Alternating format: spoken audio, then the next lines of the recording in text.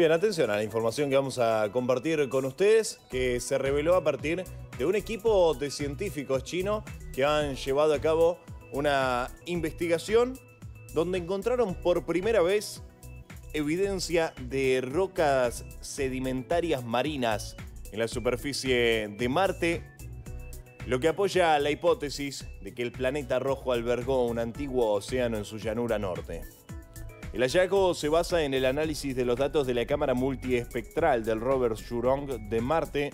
que aterrizó en el cráter Utopia Planitia en mayo de 2021. Según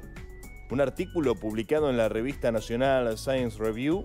los científicos de la Universidad de Geociencias en China, en Wuhan, observaron que las estructuras del lecho de las rocas expuestas eran diferentes de las rocas volcánicas comunes y las arenas eólicas que predominan en la superficie marciana. Además identificaron características de flujo bidireccional que indican la influencia de las mareas en un entorno costero y oceánico poco profundo. Los investigadores consideran que este descubrimiento es una evidencia directa y convincente de la existencia del antiguo océano en Marte que podría haber cubierto gran parte de su hemisferio norte hace unos 3.500 millones de años.